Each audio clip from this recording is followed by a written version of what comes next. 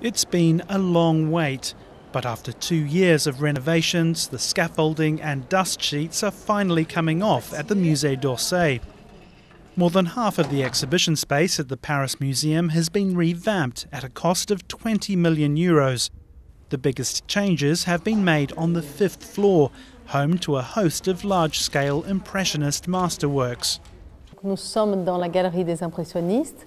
We are in the gallery of the Impressionists. It's an area which hasn't changed since 1986. Qui, euh, euh, euh, The initial concept was to present a painting with natural light.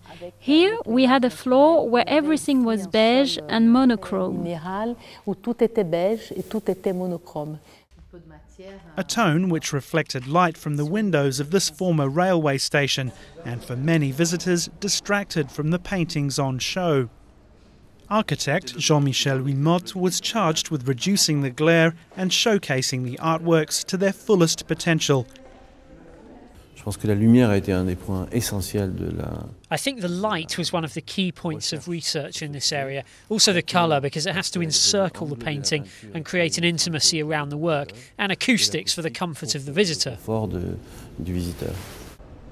The final palette, a charcoal grey on the walls that lets the painting stand out, dark parquet flooring, and indirect lighting, which varies according to the amount of natural light. Et on est rentré dans un espace We're in a more private space, if you like, and it's this intimate quality that we were looking for. intimiste que, que nous avons souhaité. Furnishings have also been updated. New additions include these Japanese designed glass benches.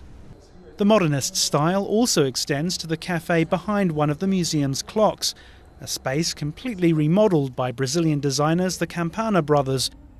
Visitors will be able to see the paintings in their new, improved home from October the 20th.